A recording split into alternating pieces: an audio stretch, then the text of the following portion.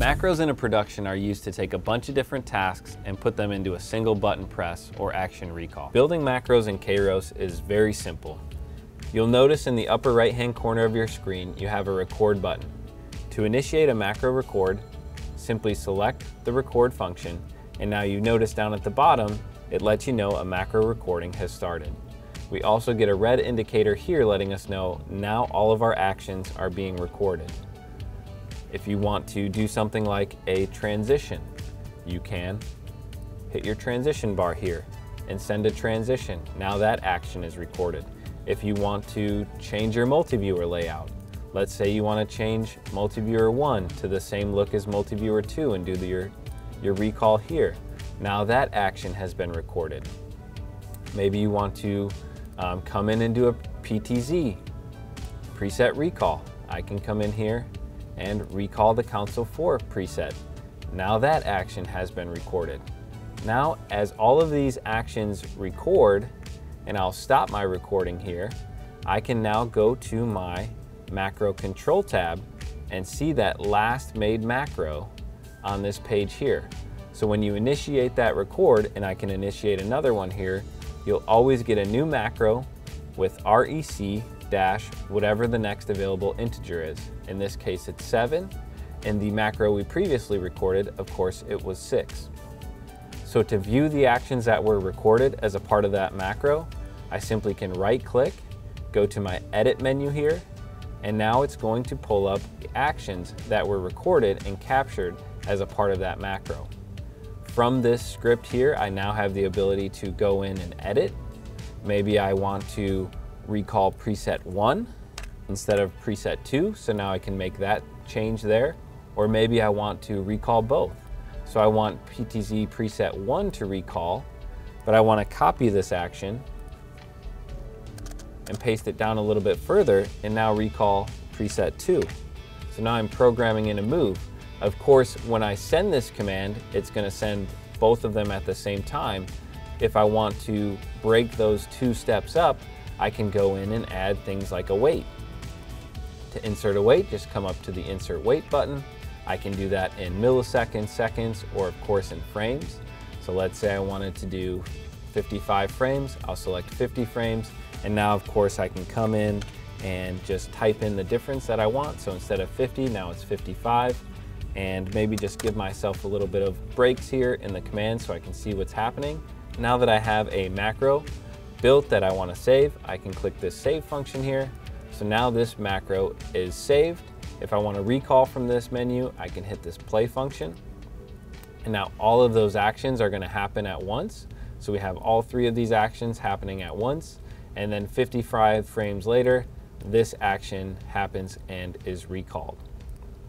If I want to take all of these steps and add them to another macro, I can simply highlight all of them, do a copy command, control C, and now come into maybe this other macro that we started to record and do a control V.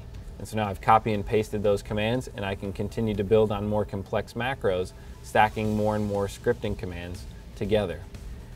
If you have ideas for other macros that you want to write or um, questions about the language that's in here, we do have this help function built in and this gives you a little bit better idea of the types of commands that you can use within your Kairos.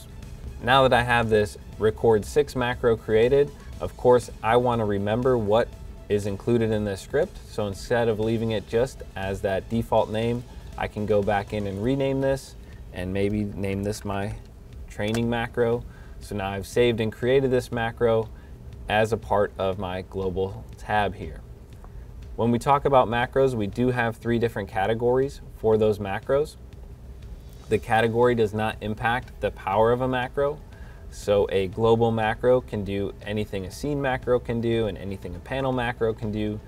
These different tabs here just help categorize where that macro is going to show up. So because I have this in our global, first level of global macros here, it's going to show up as a button press on our REST API if I were to take this macro and copy and paste it or create a new macro as a part of a scene specific macro here, that macro would then show up as a cross point or a delegatable object um, within that scene. And then our last category of macro, our panel macro, those are macros that are gonna actually show up on your panel.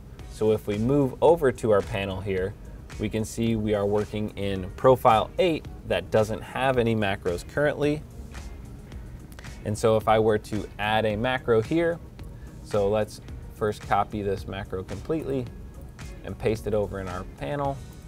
Now that we paste it here, if I go to my panel and select my macro key, we can now see that that training macro has been copy and pasted and is now a button press on my panel.